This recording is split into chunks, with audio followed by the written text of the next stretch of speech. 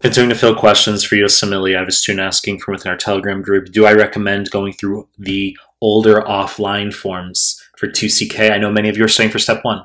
Okay, I'll address both right now. So for 2CK, I've, re- I've recommended slash advised going through NBME 6 through 12. You've got 6 through 8 offline, 9 through 12 online. So why not go through the earlier forms, right? One through five. There actually is no form five, by the way, for whatever fucking reason. There's one through four. They skip five, and then you've got six onward. For step one, I've recommended going through forms 20 through 30. And what about the older forms? What about like 19, 18, etc.? Okay, so can you do those forms? Should you? Uh, and I can give you some uh, solid input here. So before we get started, please subscribe to my channel. I really appreciate it. Give the video a like, really appreciate it. Find me on Instagram at Mehlman underscore medical, M-E-H-L-M-A-N underscore medical. Links down below. Find me on Telegram. Links to Telegram group and channel down below. Now start the clip. So what about older NBME forms for step one and two? Okay. And my response is you don't need to go through forms 19 and earlier for step one, or there is no form five for 2CK. You don't have to go through forms four and earlier simply because we have copious NBME material already. It's not that the older forms can't help.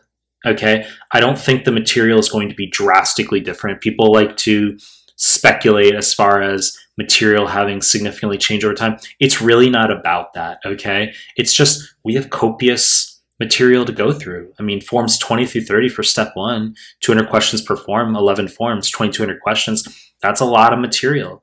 So it's not that we couldn't go back to why not form 18 or 17. We could. I just see it as satisfactory, especially at the exams, pass, step one's pass fail. I see it as satisfactory to go through all of UWorld.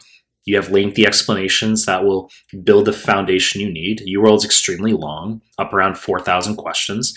And then you're going to go through 20 through 30. I see that as sufficient for step one. For 2CK, you've got all the clinical mastery series forms, the NBME subject specific forms. Okay, so the CMS forms, there's 44, uh, 50 questions per form. Okay, uh, I recommend two per day if at all possible. It's 22 days, about three weeks. And so you're for 2CK, you're going to do all UWorld, you're going to do the all clinical mastery series forms, you're going to do forms offline NBMEs 6 through 8, you're going to do free 120, you're going to repeat all the clinical mastery series forms, then you're going to do NBMEs 9 through 12. For step 1, you're going to do all UWorld, you're going to do NBMEs 20 through 24 offline, free 120, and then you're going to go straight into the online forms 25 through 30. That is a very, very consolidated way of articulating it. And I make note of that because it's never an umbrella plan for every student. Okay, there are going to be differences, but I want you to get through UWorld. Yes, all of it for both steps one and two.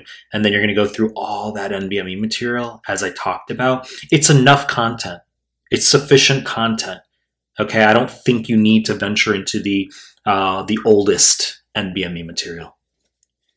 You know the deal. I'm going to make more content. If you like my stuff, subscribe my channel. And I appreciate your time. That's it.